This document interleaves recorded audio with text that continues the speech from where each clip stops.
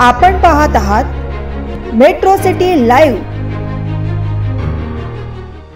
प्रसिद्ध अभिनेता शाहरुख खानचा मुलगा आर्यन खानला एनसीबीने क्रूज शिप ड्रग्ज प्रकरणात क्लीन चिट दिली आहे. एनसीबीने आर्यन खानसह सहा जणांची नावं आरोपपत्रातून वगळली आहेत. तसेच या प्रकरणी पत्रकार परिषद घेत आपली भूमिका स्पष्ट केली आहे. यावेळी एनसीबीने आर्यन खानला क्लीन चिट का दिली या प्रश्नाचं उत्तर दिले एन सी बीच्या अधिकाऱ्यांनी व्हॉट्सअप चॅटचा उल्लेख करत केवळ व्हॉट्सअप चॅटवरून सबळ पुरावे गोळा करता आले नाहीत अशी माहिती दिली आहे कार्डोलिया क्रूजवरील ड्रग्ज पार्टी प्रकरणात अभिनेता शाहरुख खानचा मुलगा आर्यन खान याच्या अटक प्रकरणात आरोपपत्र सादर करण्यासाठी न्यायालयाने वाढवून दिलेला साठ दिवसांचा अवधी या महिन्यात संपलाय.